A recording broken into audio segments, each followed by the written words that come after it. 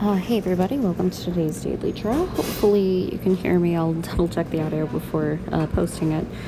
Um, I'm actually in an airport right now. I found the quietest, most secluded corner I could, so hopefully I'm not bugging anyone during uh, narration here. Uh, so today's Daily Draw is Seaking. I actually drew this in the airport, or not in the airport, sorry, on an airplane um, on my way back from Port Con, Maine. Shout out to all the cool people I met there. Um, I was gonna draw this one last night, but restock took so incredibly long. I just didn't have time, so I'll do um, another one later tonight. I forget who comes after Seaking. I feel like it's Staryu.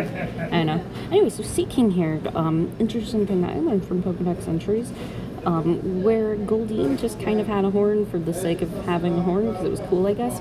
Um, Seaking actually has a, a, reason for having a horn. So Seaking will, um, they're river fish, and they'll actually bore a hole into um, boulders along the river to uh, nest and lay their eggs and um, which I thought was a, a really cool thing. You know, a lot of Pokemon just have features that are definitely just like aesthetic, so it's really cool to see them actually kind of explain the biology of a couple of them, you know?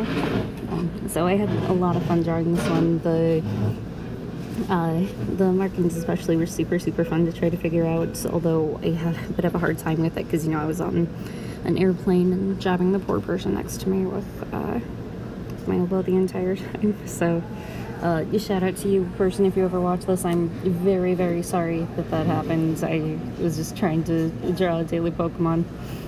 Uh, so, yeah, let me think if there's anything else of note in Seaking's Pokedex entry. Oh, okay, I can tell you what. Um, Bulbapedia very kindly um, lets you know the uh, the origin of the name of Pokemon, the the naming that uh, is chosen for them.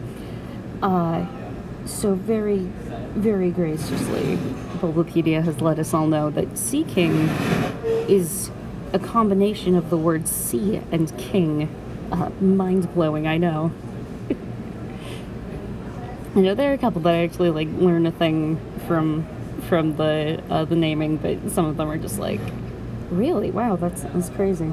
Oh, oh, another thing. Um, apparently, so uh, Goldeen, apparently there will just be trainers who just like collect Goldeen, uh, but the trainers who collect Seaking are apparently like very delighted, uh, divided, um, like, uh, oh my gosh, what's the word I'm looking for? Um, oh my gosh, what is, I know Capulet, what's the other one in Romeo and Juliet? I don't, I don't know, but Oh, Montague. Yeah, Montague and Capulet style um, houses are divided on whether Sea Seaking are better because they have cool horns or because they have pretty fins. So uh, let me know which, which team you're in, Team Horn or Team Fin. Um, I hope you all enjoyed. Have an awesome rest of your day. Uh, bye.